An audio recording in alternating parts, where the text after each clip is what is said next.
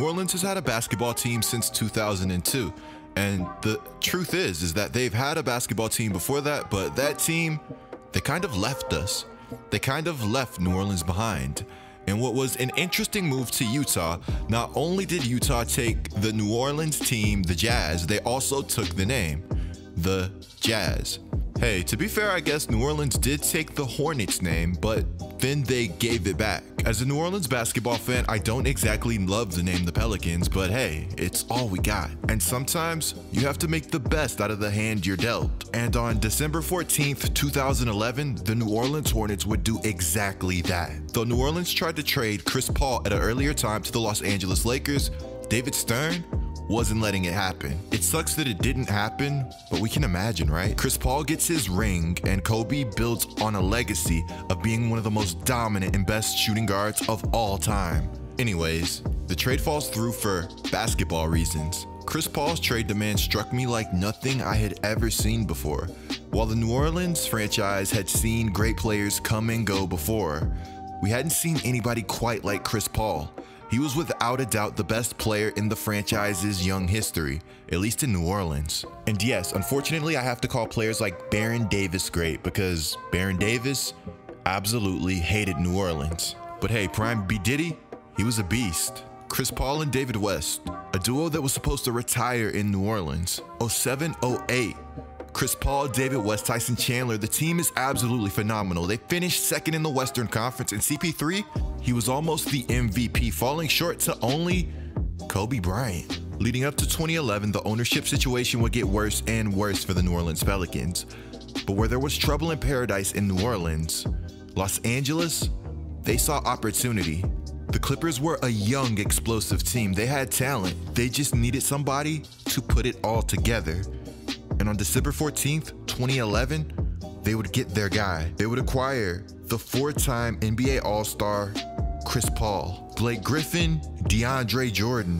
You know how the story goes. Who wants a free Sharpie? yeah! Are you serious? That'd be Lob City. Oh my god.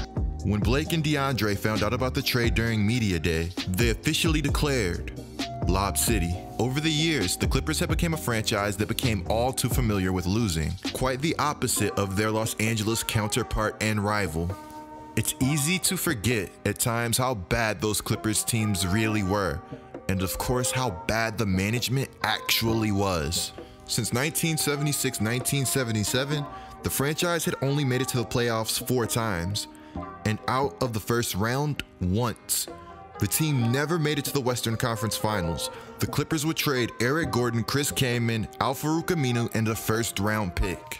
To this day, you can't tell me that without the injuries, Eric Gordon wasn't going to be a superstar. He was an ascending scoring talent that had absolutely lit up college basketball. Oh yeah, Andy tried to bolt to Phoenix. The Crescent City couldn't get any love. But with the arrival of Chris Paul in Los Angeles, love was all too familiar in Staples Center. And this franchise that had been a perpetual loser was ready to win. The number one pick of the 2009 NBA draft, Blake Griffin. Absolute beast. But in 2009, he wasn't a rookie. He was forced to sit out a year after suffering a stress fracture in his left knee. But boy, did he more than make up for his time that he missed. In 2010 2011, he played all 82 games. Homie was even selected to the NBA All-Star game and won the Sprite Slam Dunk competition. You can call it controversial while he calls it a victory, but it's a victory all the same.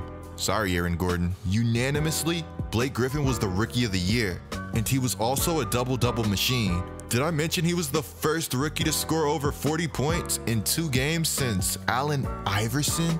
Hey man, if y'all don't remember how cold Iverson was, I'm gonna save that for another video. Back to Blake. 22.5 points, over 12 boards per game, and nearly 4 assists.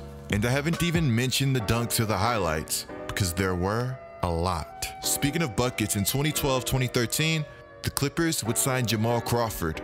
You want to talk about instant offense? Jamal Crawford was exactly that. But the 2012-2013 season, the Clippers would go on to lose in the first round. But I mean, hey, they won 50 games for the first time in franchise history, and they would finish as the fourth seed in the Western Conference. This was a Clippers team that had Chris Paul, Blake Griffin, DeAndre Jordan, Caron Butler, Chauncey Billups, Matt Barnes, Jamal Crawford, Eric Bledsoe, Lamar Odom, and Ronnie Turiaf. I'm sure you guys are wondering what happened. The Grizzlies, they were a tough team, a team nobody in the playoffs wanted to face. They had a reputation that they lived up to. And Blake Griffin, he would suffer an injury that affected his play so much. He just didn't look like Blake Griffin. To be fair, the Grizzlies, they hooped. They balled so hard, they didn't just make the Clippers go out and get a new coach. They would trade for one. The Clippers would send two first round picks to the Boston Celtics for head coach Doc Rivers. This is a move that I could say I don't think I'd ever seen before or saw coming. Doc had the hardware and his reputation exceeded him. He knew how to get the best out of talent. I think as NBA fans, people take some great coaches for granted. When a team is really talented, it's really easy, right? To be fair, it can be, but that just leaves so much room for any slight thing to go wrong. When a team is so talented, you're constantly on the hot seat. You have egos, and you have to make sure these players are playing up to their potential because if you aren't, then you're out of there. Before the 13 14 season, the Clippers would also add JJ Redick and Jared Dudley.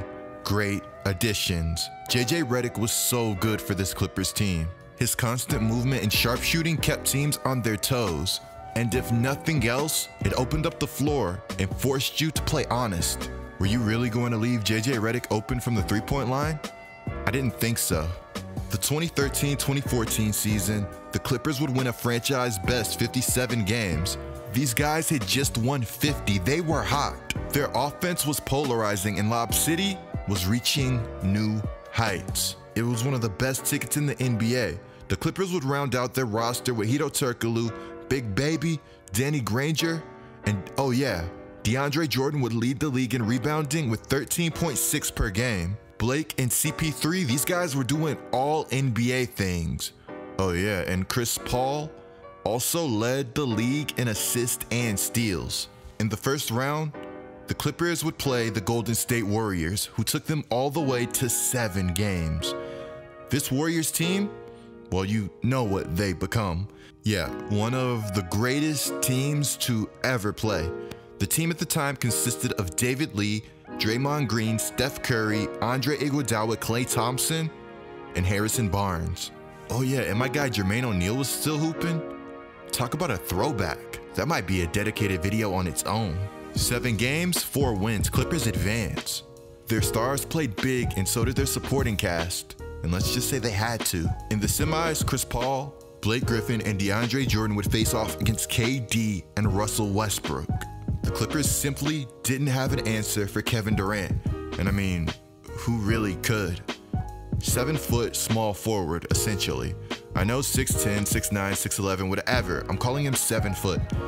KD, one of the best scorers to ever play the game. Simply unguardable. He averaged 33.2 points per game this series. He grabbed nearly 10 boards. Man, don't get me started. But of course, the Clippers had to overcome much more than just the Oklahoma City Thunder. Their owner had been banned for life. And it was well deserved. Sterling had a history of racism. 2014 2015, Steve Ballmer arrives, and he's all in. Chris Paul and Blake Griffin they do their all NBA thing, but this time, DeAndre Jordan joins them. DJ also becomes the first player since Moses Malone to average 10 points, 15 rebounds, 1 steal, and 2 blocks. The Clippers would enter the playoffs as the third seed in the Western Conference with a 56 26 record. They would beat the defending champion Spurs in the first round after a game winning shot by CP3. Sorry, Kawhi. Next round, the Clippers go up on the Rockets 3 1, but they would lose the series. Houston took three straight games after Los Angeles flat out dominated them. Nobody saw it coming. CP3 would miss the first two games of the series, but that's no excuse. Hey, maybe nobody was beating the Warriors at this time anyways. But hey, it's crazy to say, and I know the Clippers had lost some depth. I think they were a good matchup. Would they have taken them down? Who knows? But it's fun to imagine. The following offseason, the Clippers would almost lose DeAndre Jordan. I mean, seriously, DJ was all but gone, and the stories surrounding the situation are kind of absurd. DJ has a change of heart. He doesn't end up in Dallas and Lob City, it returns. But things just keep getting worse and worse. Chris Paul would unfortunately break his hand, while Blake Griffin would re injure his quad. All of this would add up to a 4 2 series win for the Portland Trailblazers. The team was loaded and ready. But hey, I guess sometimes things just don't go your way. If Blake Griffin and CP3 remained healthy, the Clippers, they had a path to the finals. The following offseason, the Clippers almost got KD, question mark? It was reported that the Clippers meeting with Durant was intense, and at one point, Steve Ballmer was crying, but everyone grew closer and a big lesson was learned. You can't make this stuff up. Chris Paul, KD, DeAndre Jordan, Blake Griffin, I guess we gotta keep dreaming. 2016-2017 would be the final season for the Lob City Clippers. Clippers faced injury after injury with Blake Griffin and Chris Paul both missing significant time. In the playoffs, Blake Griffin would suffer a toe injury in game three and unfortunately missed the rest of the season. For three, New Orleans, oh my bad, Utah Jazz. As a Hornets fan, as a New Orleans sports fan, Chris Paul leaving New Orleans sucked because though he left, he did so much for the city. I've wanted to see Chris Paul win perhaps more than anything in the NBA. Blake Griffin, Chris Paul, DeAndre Jordan, all gone. Lob City, an era that I hope won't be forgotten. Because if nothing else, the ride was fun, while it lasted at least. Be sure to click the video on the screen right now, guys. Be sure to subscribe, notifications on. I'm G Like Coop, and I'm out.